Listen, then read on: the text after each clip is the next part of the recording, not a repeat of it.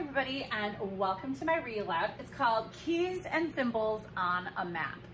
It's written by Meg Greve. It uh, doesn't say who the illustrator is, but since we've been doing maps in social studies, this is a great book for that.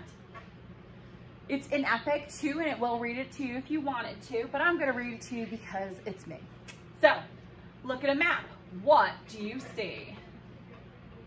You see symbols and a key. So here's the map, here's the map key, or sometimes it's called a legend too. Symbols stand for bigger things like mountain stream, mountain, mountains, streets, or even streams.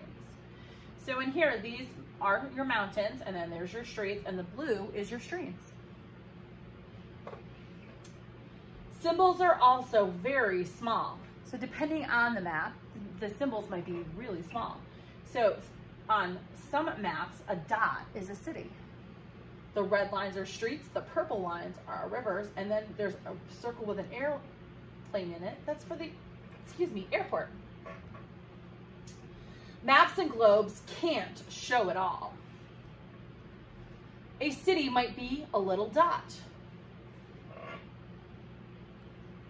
A car might mean a parking lot. So sometimes, we talked about this a little bit too, the symbols might represent something you don't think it does. So in this case, a parking lot is represented by a car. The symbol is a car.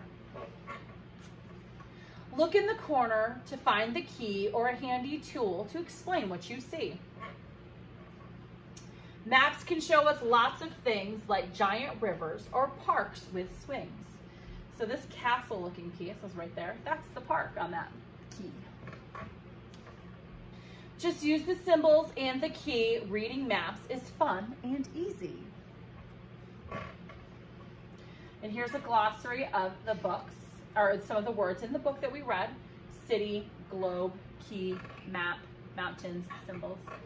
And again, this is on Epic, so if you want to read it, you can read it later or have it read to you or watch me do it again. Bye guys.